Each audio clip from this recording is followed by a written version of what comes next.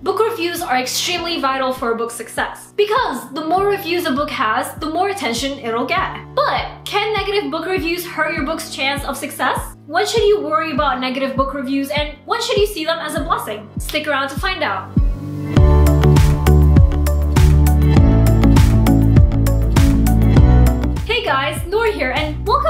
Channel. For those visiting for the first time, hello, I'm the fantasy author of the novel Divinity Falling. Be sure to subscribe for weekly writing advice videos. Today we're talking about book reviews. I chose this topic because I think it's very important for writers. How people perceive our books can affect us. I hate to say it, but it's true. Us writers, we like to act tough sometimes and say that what readers think doesn't matter because writing is subjective. But deep down, even the most cold-hearted writer feels like they were punched in the gut if a reader doesn't like their writing. So it's a very, very important topic that we should all address. Before I dive in, I just want to point out that this video is for writers who have a completed book and have worked hard to make sure that it's as perfect as possible. This means that their book went through several drafts and professional editing before it was given to readers. If you're a writer who hasn't done these steps or hasn't finished your manuscript, then what I'm about to say doesn't apply to you. Because if you publish a poorly edited book, you can't be surprised when you receive negative reviews. And if you haven't finished your book yet, then you still have ways to go before you have to worry about negative reviews. And if a beta reader decides to be harsh with you about your work when your story isn't done yet,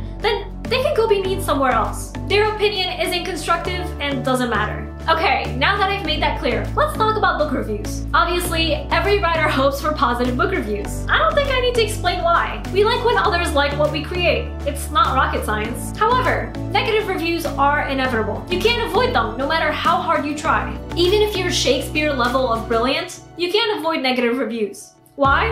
Well, remember what I said earlier? Writing is subjective.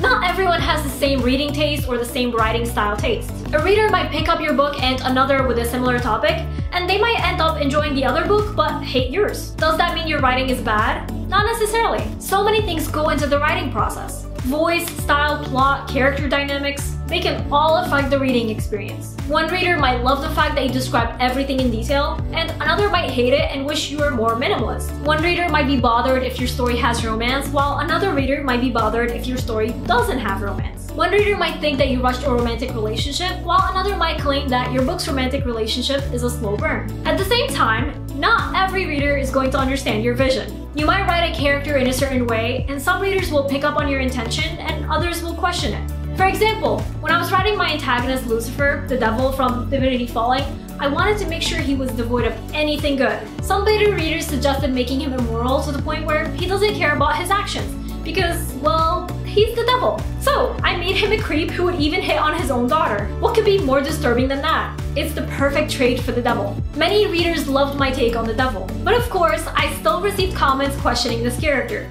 finding the devil's lack of morals unbelievable. So, as you can see, you can't please everyone. I will say it again, writing is subjective. Now, will negative reviews hurt you? That depends. If the majority of reviews are negative, then that's a sign that your book didn't click with the public. Or maybe your book cover misled the wrong readers into thinking the book is for them. So that might hurt your book's success a bit and prevent more readers from giving it a shot. On the other hand, if the majority of reviews are positive but there are a couple of negative ones, then that's a good sign that you targeted the right demographic for your book. Your ideal readers were pleased with the book, and that's what matters. The few people who didn't enjoy the book don't really matter. They didn't understand your vision, or maybe their reading taste is different from yours. It happens.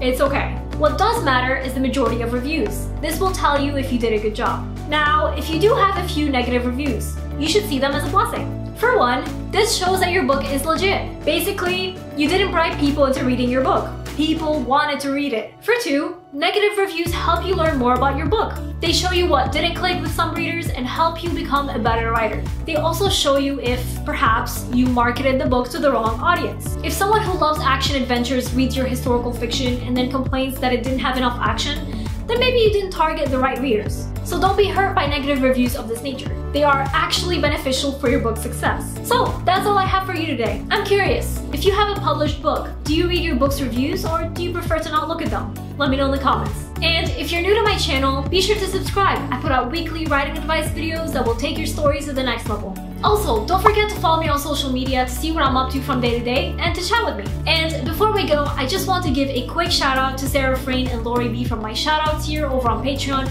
as well as all my amazing patrons. Thank you all so much for your support. I appreciate it. And remember, Nour for presidents!